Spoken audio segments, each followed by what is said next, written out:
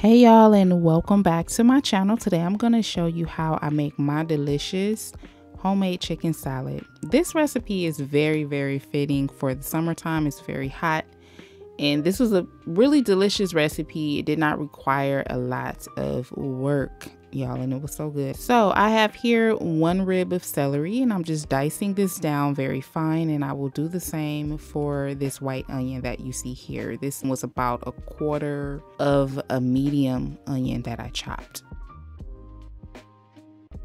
here I have a store-bought rotisserie chicken. This was a garlic and herb flavor. It was about two pounds.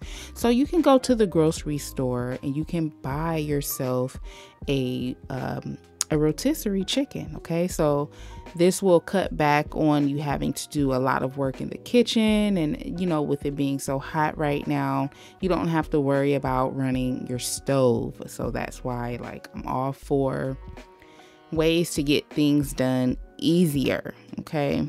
If you would prefer to roast a chicken yourself, that's perfectly fine. Just make sure that you season it really, really good. Okay. Here I am just um, tearing the skin off of the chicken. I'm also going to tear the meat off of the bones. And if I come across any small fatty pieces, I will get rid of that as well. Just want meat meat and more meat. No skin, no fat, no bones, okay?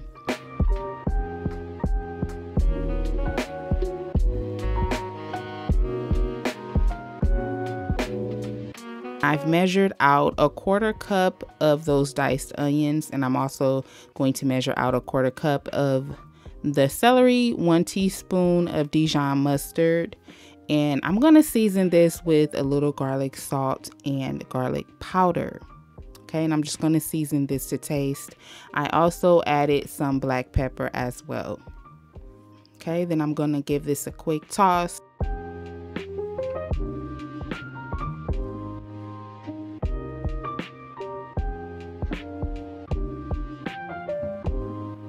So next I will be adding my mayonnaise. So I'm using Duke's mayo. You can use Duke's or you can use uh, whatever mayonnaise you prefer. Duke's mayonnaise um, does have a lot of, you know, tanginess to it.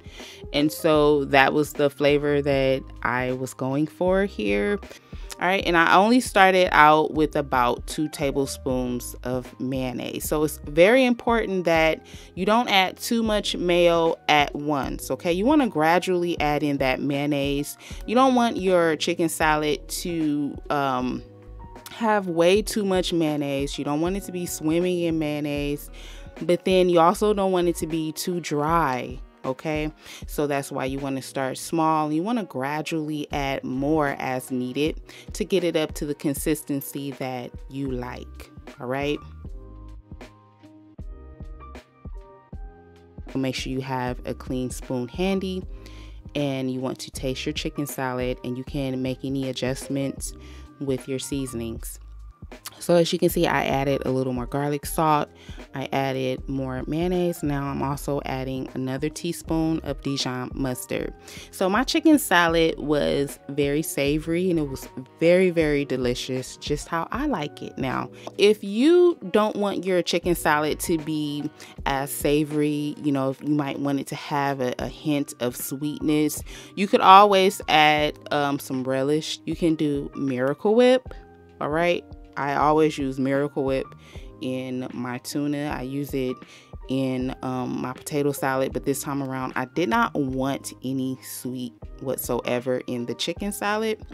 But yeah, that's an option for you. You could also do a little sugar, you know, just to give it that balance that you might want. All right. So here I've built a delicious sandwich and this came together very, very good. I hope y'all will give it a try. Comment below. Let me know what you think of this recipe. Let me know if you're going to try it. And if so, let me know how yours turn out. Okay. Thanks so much for watching and I hope to catch you in my next video.